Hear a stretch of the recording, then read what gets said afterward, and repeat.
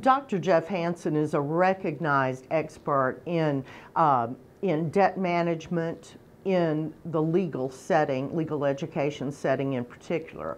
He's worked at universities, he is an economist, he has worked for the Access Group, a major lender in legal education, and just has a fabulous reputation for his care and concern about students uh, related to borrower education his reputation precedes him and his willingness to come in and speak to our students individually and counsel with them individually is something that was just too good an opportunity to pass up. And I think that because debts are going up, because the cost of education is getting higher, and with uncertainty in the job market, uh, particularly for young attorneys, that it becomes more important that they get as much information as they can about how to manage the repayment process, as well as how to take advantage of opportunities to temporarily postpone repayment if they need to, and sort of be able to plan for whatever contingencies might happen in their lives, particularly from a financial perspective.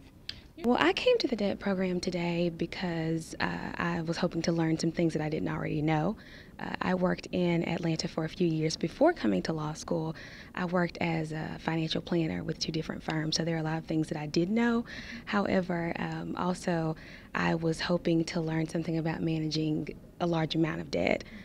Well, I came for a couple reasons. I graduated undergrad with no loans through the Hope Scholarship Program in Georgia. So this is, you know, coming to law school is a scary thing, taking all these loans for the first time and I, I needed to know, you know, what's the steps into what I do have in debt and what I need to do to repay it and what would be my best options. I've pretty much kept up with the amounts that I owe. And I've been checking credit reports and, and other things just because of what I've learned from my background.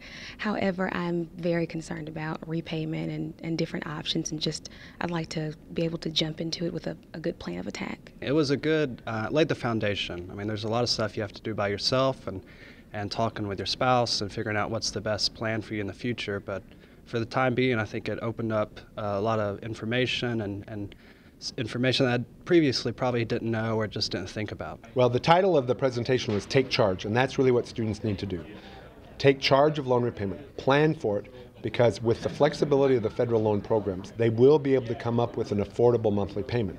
But it won't happen just automatically. They need to take charge, prepare for it, and be informed so that they can make the choices that are going to be right for them.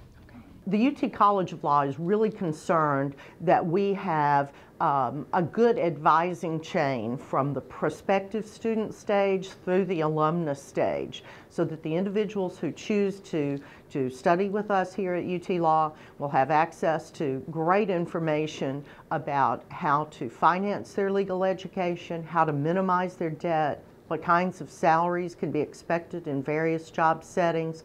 All of that information is incredibly important to understand before a prospective student ever makes the decision to come to law school and begin that long and somewhat expensive journey through legal education.